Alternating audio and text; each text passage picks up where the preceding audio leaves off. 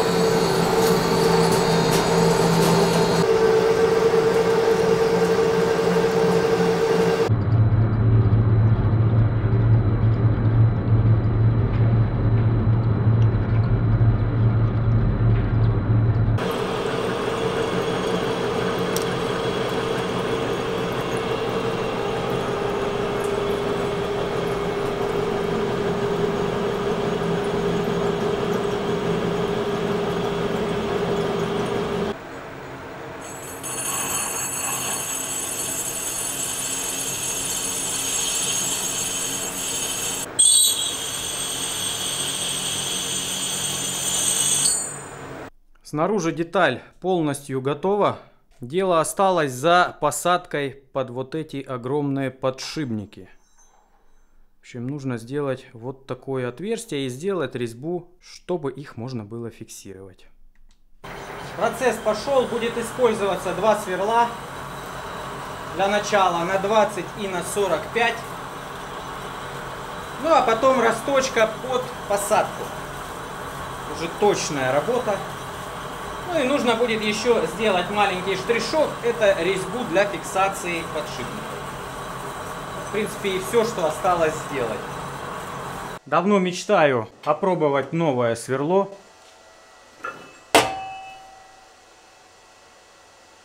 Ну так выглядит, друзья. Новенькое сверлышко большого диаметра. 48 миллиметров оно, я даже ошибался. Не 45, а 48, почти 50.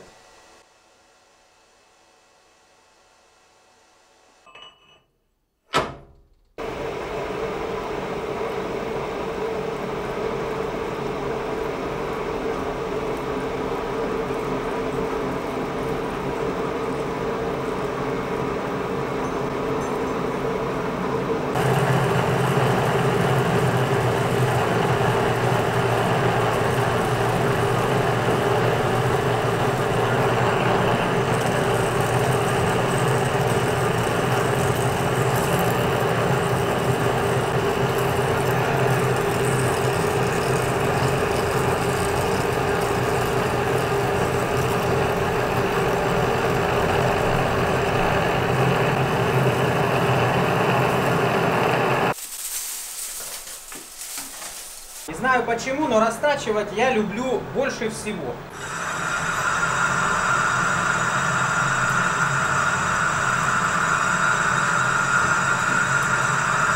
Очень зажигательный процесс.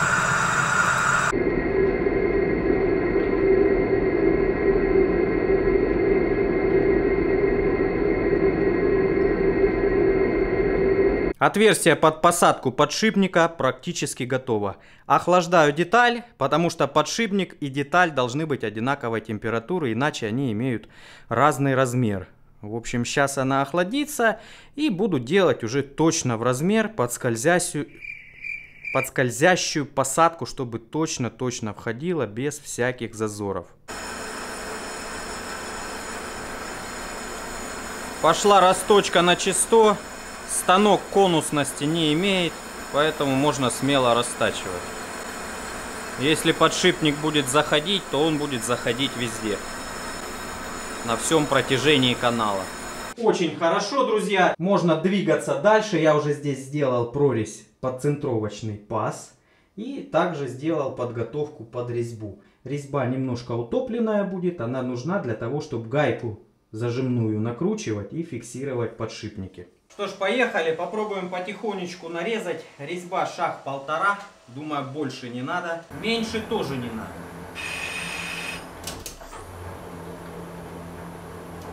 Такими вот движениями потихоньку сейчас нарежем.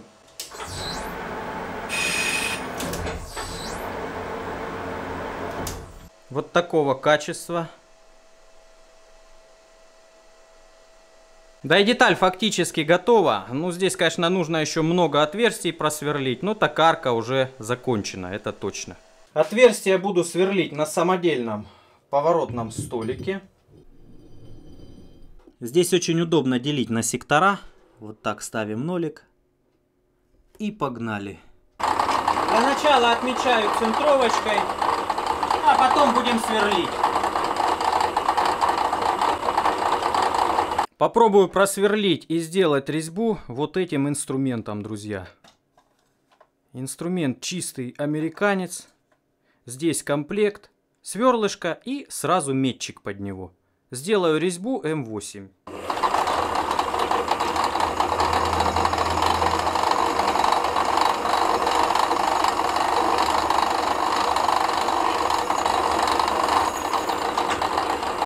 Процесс идет очень приятно. И внутри чистая поверхность в колодце. Современный инструмент, конечно, очень радует, когда он есть. Пробую нарезать сначала обычным метчиком, ну, чтобы почувствовать, постараться разницу. Идет довольно-таки тоже неплохо. Это хороший мечик, новенький. Да и плюс он с покрытием, с желтеньким. Так. Теперь попробуем двухперым метчиком, как оно пойдет, ребят. Очень-очень-очень-очень-очень интересно. Двухперым нарезать не доводилось. Ну, вроде бы нормально идет. Не могу сказать, что легче. Все-таки там три режущих кромки, здесь две.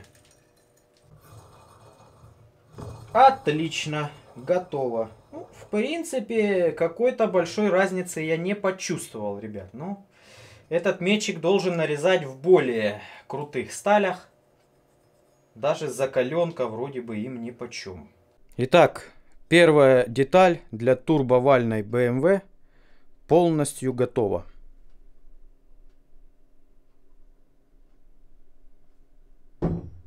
И, конечно, кучу отверстий я здесь насверлил. Можно даже взвесить ее, ребят. Будем считать, что 6,5 килограмм. Это корпус подшипников. Это основная деталь, которая вместе с переходной плитой будет воспринимать все нагрузки от маховика и сцепления. Следующим этапом буду точить внутрь вал и можно будет уже даже маховик присоединить, посмотреть как это все будет выглядеть, ребят. Уже в следующем видео начнет что-то вырисовываться. Ну а на этом видео все. Кому было интересно, подписывайтесь на канал, поддержите лайком. Всех благодарю за внимание и всем пока. Больше всего интересно, что делал по вот этому подшипнику. Он очень плотно сидит. Ну, а второй, видите, он здесь как бы малость болтается. Этот сидит вот так. Ну, ребят,